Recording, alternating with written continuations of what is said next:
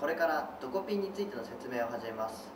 ドコピンとは留守の時に宅配便業者が来た時にそれを出先で応答するシステムです。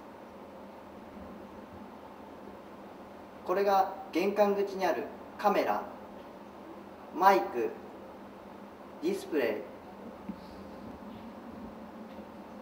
スピーカーそして Java カードリーダーです。これが出先のパソコンとヘッドセットです。宅配便業者は自分の名前会社名そして荷物の受け手のデータが入ったカードを持っているとします。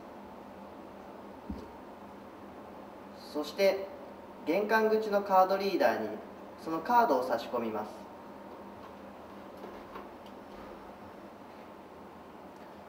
そうするとカードから読み取ったデータがディスプレイに表示されます。そしてピンポンを押します。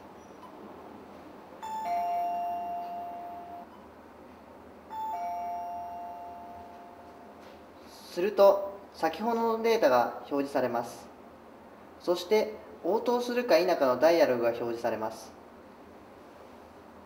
応答するので「はい」を押します。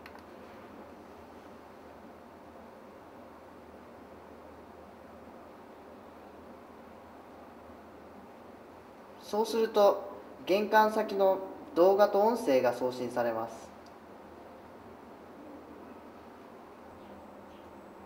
どちら様ですか？黒猫山太郎です。あはい。わかりました。このように会話をします。受け取りを確認したら受領員として署名をします。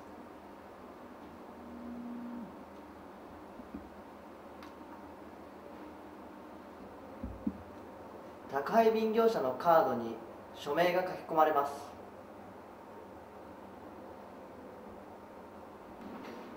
カードに署名が書き込まれたのを確認したらカードを抜いて立ち去ります。